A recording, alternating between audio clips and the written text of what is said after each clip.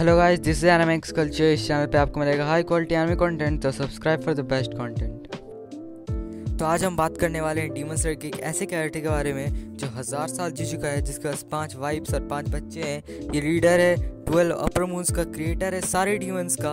और demon slayer का main antagonist है। You guessed it right it's The Demon King Kibutsuji Muzan お前は何か思い違いをしているようだな赤さ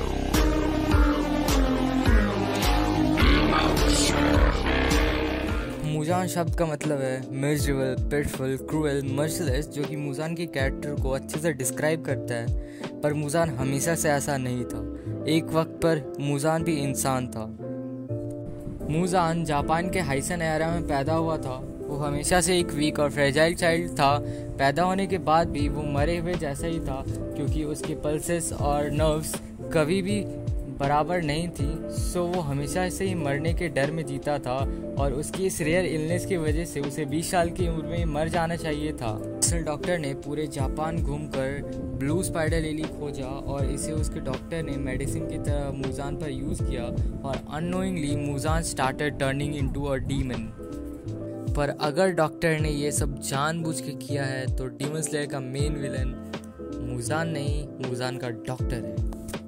पर doctor की मेडिसिन वर्क कर पाती। उससे पहले ही मुजा ने मेडिसिन वर्क नहीं करने के गुस्से में उसे डॉक्टर को मार दिया। पर कुछ दिन बाद मुजा ने यह रियलाइज़ किया कि डॉक्टर की मेडिसिन काम कर रही थी। पर इनकम्प्लीट ट्रीटमेंट की वजह से मुजान अब सनलाइट में नहीं जा सकता था। पर रात को वो बैटमैन बन चुका था। But with supernatural abilities वो बन चुका था the original and first demon पर वो अब नॉर्मल इंसान की तरह खाना नहीं खा सकता था, उसे ह्यूमन फ्लैश की क्रेविंग्स होने लगी।